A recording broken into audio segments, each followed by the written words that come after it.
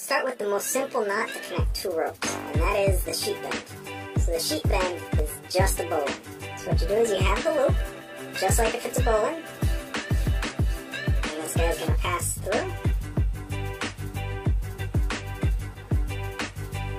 And then you're simply going to slip it through that part there. Pull it tight, there it is. And these two knots, these two ropes are now connected to each other, and they're tied.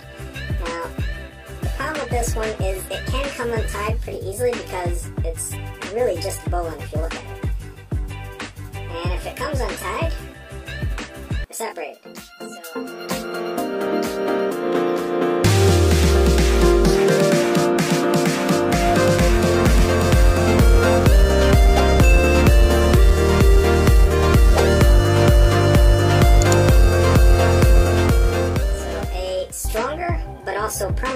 is called the double sheet bend, where instead of one loop, you do two. And then you come back and you go through there. When you tighten this one down, it's done. It's not going anywhere. And this is a permanent knot. Now it's important that when you tie this one, you actually want these two lines together forever, because they are, after you tighten it down. Dyneema though, it's pretty slippery, and you can usually open it back up. What about simply attaching two lines together with two bowlines? So the idea is simple. You have a bowline in one, so now you have a loop. And then you tie the other one with a bowline. So now, technically, you have the two lines tied together. So why shouldn't you do this? It seems easy enough. I mean, if you're a boater and a sailor, you probably know how to tie a bowline. So this would work. The problem is these two lines where they're tied together, they're going to move on each other, they're going to rub, and they're going to chafe. And when they chafe, what's going to happen is it's actually going to saw through it, and then they come apart. So this is actually a really bad idea if you're tying something that's important. That's why tying the actual sheet bend, which is the same as a bowline, is a better idea because there's no chafing happening because everything is attached to each other. Here's another option. It's called the fisherman knot. So a regular fisherman knot, like a double fisherman, is you take your hand and you wrap around your thumb twice, and gonna pass this line back through the loop. And it makes a nifty little stop knot. Now where this gets really cool is when you use two lines with it. And to take it apart, you simply pull on it and it will open. Might need a little coaxing after a lot of heavy loading, but it'll happen.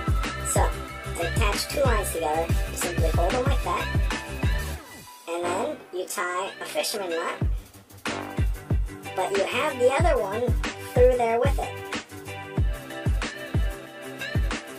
So here's a fisherman knot, but it's got this other line running through it. Now, the line can simply slip out, but that's where the trick comes in. You tie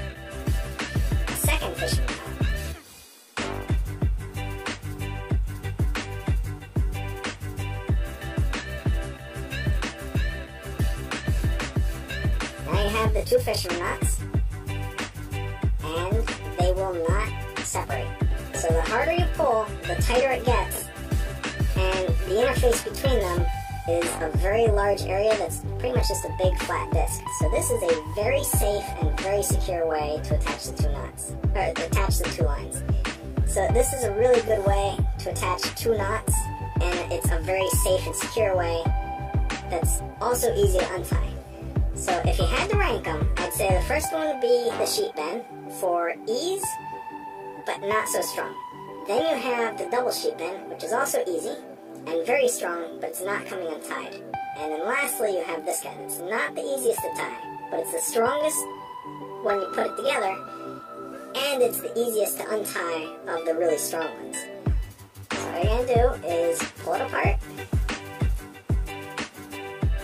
and then pull it apart.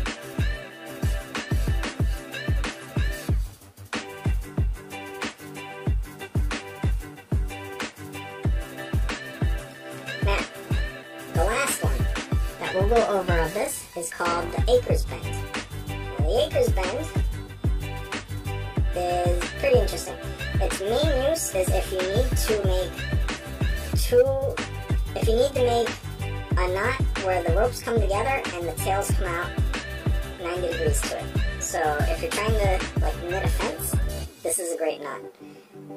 So all you do is you make a loop and you have the line pass back over and this one's going to be the mirror image. So it's going to go and pass under and the tail goes up where the top one, the tail goes down. So it's very easy to tie, it's just a little confusing when you first look at it. So this one's going to loop over and then come back through the whole assembly and come out. And this one's going to go from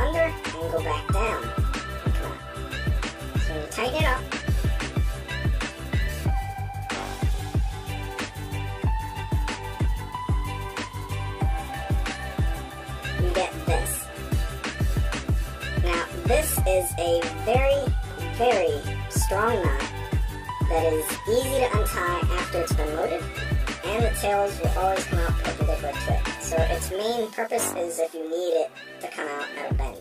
The reason that these are all called bend knots, if you notice, the line comes in and comes out with a bend to it. So that is the Acres bend. But what if you're connecting two ropes that are very different sizes?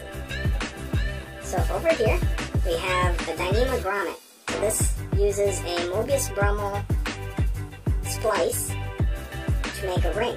So it's a ring of rope, and they're very strong. And this is actually what we use for our dead eyes that actually hold up our entire standing rig.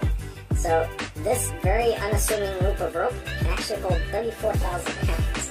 So it's pretty powerful. And this rope is tiny. Say you need to connect them. What are your options? The best one for this situation would be a sheet bend, as it loops through, pops out the other side. Now, with a sheet bend, you always want to have the big one be just the bend, just the loop here, and the smaller line be the one that runs through. Now, you can see this is going to hold because the more I pull, the more it pulls on that part. If I need it to be more secure, just make it a double bend.